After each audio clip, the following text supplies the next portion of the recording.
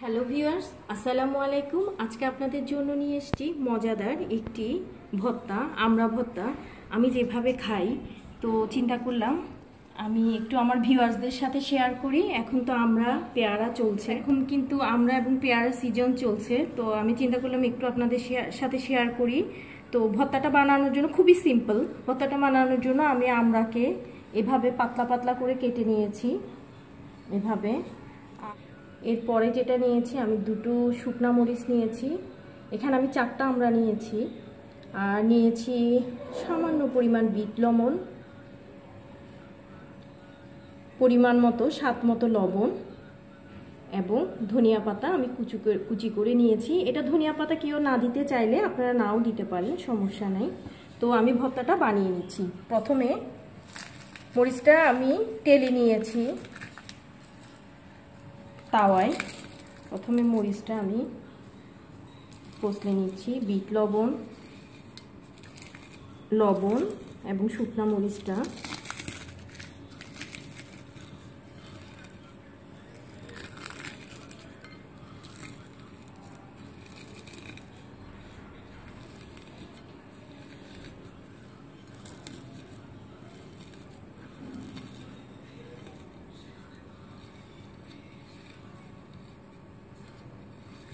ধনিয়া পাতাটাও শুকনা মরিচের সাথে একসাথে হাত দিয়ে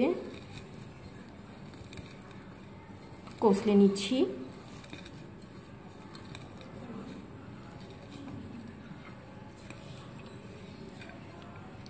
এরপরে এটা মিশিয়ে দিব আমরার সাথে।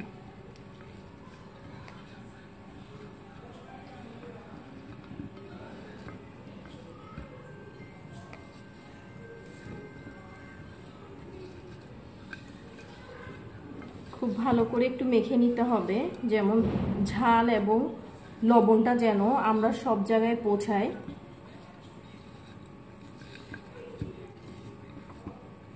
আমার মাখানো শেষ।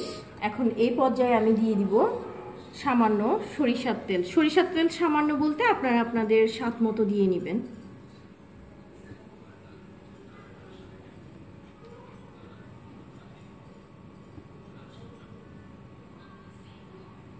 আমি চা চামচের এক চামচ সরিষার তেল দিয়ে নিয়েছি। আপনাদের যদি আরেকটু ঝাঁঝালো করতে ইচ্ছা করে, তাহলে আপনারা আরেকটু সরিষার তেল দিতে পারেন, এটা সমস্যা নেই। তো হয়ে গেল আমার ঝটপট, আমরা ভর্তা। তো ভিউয়ার্স হয়ে গেল আমার ঝটপট, খুব মজাদার একটি আমরা ভর্তা। আপনাদের যদি ভালো লাগে, তাহলে আমাকে সাবস্ক্রাইব করে রাখবেন এবং আমাকে বেশি বেশি লাইক দিবেন। এবং আমার চ্যানেল এবং আমার ভত্তা রেসিপি শেয়ার করবেন। বেশি বেশি কমেন্ট করবেন। যদি কিছু জানার, জানতে চান, তাহলে কমেন্ট বক্সে জানাবেন। আজকে এই পর্যন্ত সবাইকে ধন্যবাদ। আসসালামু আলাইকুম। মুমতাহিনা মজা হয়েছে? মুমতাহিনা মজা হয়েছে? কথা বলবে না?